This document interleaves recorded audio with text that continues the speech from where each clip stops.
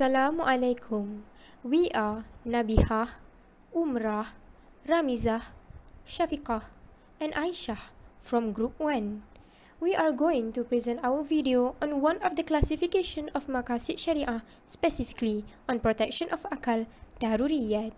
With that came a thought to make a community engagement project to divulge the protection of intellect against alcohol and drug consumption. We believe that Muslim community need to be briefed and educated on the topic of Maqasid Syariah.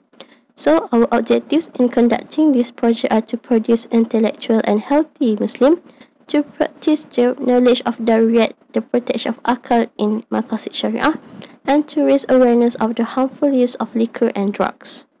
We also create a set of quizzes question in order to measure our participants' understanding of Maqasid Syariah. Hence, our methods to conduct this group project are first, we brief our participants which consist of our friends and family members about what is Maqasid Sharia, the Islamic perspectives, the history of alcohol and drugs prohibition in Quran, and the effects of alcohol and drugs on human intellect and body. Here is the short clip of us during the session with the participant. You guys can hear me right? Okay. So first Yes, I'm going yes. to explain what is Maqasid Syariah. Okay, so Maqasid Syariah is actually a Syariah, uh, a Syariah terms that refers to a preservation pre- preservation of order, achievement of benefit and prevention on harm or corruption and also an establishment of equality among people.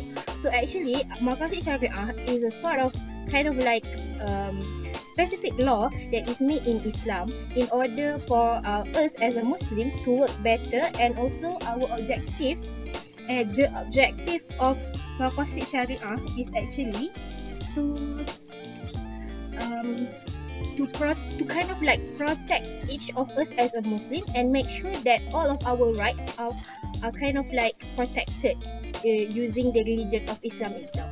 And their benefit. So here in this surah, it talks that uh, alcohol has both good and bad benefit for humankind. So next slide.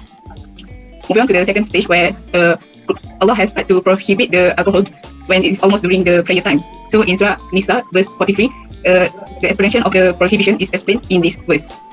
Okay, next. Next, in the stage three or the last stage, Allah has prohibited humankind from taking or consume alcohol because it is uh, it has more bad than good. So, uh, as a Muslim, can you hear me? Yes. Yes. Okay. As a Muslim, we should uh, stay away from this as it will bring us to the destruction of life. Next, I pass to Me.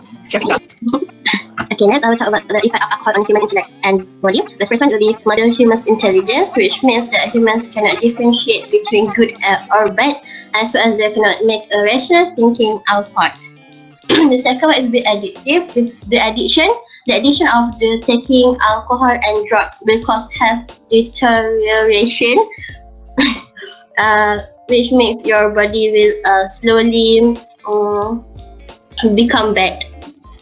And the third one will be fail to recall, which is the will cause the poor memory and slowed uh, reflexes. Uh, you cannot remember, like you cannot um, remember that you cannot remember all those um, things, uh, the good things or so it.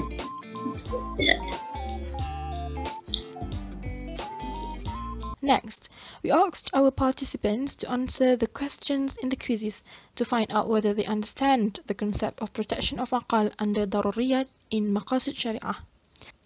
Lastly, we had a photography session as a proof and appreciation towards the participants. All in all, the quiz conducted managed to educate each participant and increase their knowledge on Maqasid Sharia. We hope that participants can share the knowledge with others in order to produce a healthy community. The prohibition of alcohol in Islam is one of the way to protect our society from evil and elevate our iman. Thus, we believe that by obeying the Maqasid Sharia, it can lead humankind to Jannah and make Muslim life more peaceful.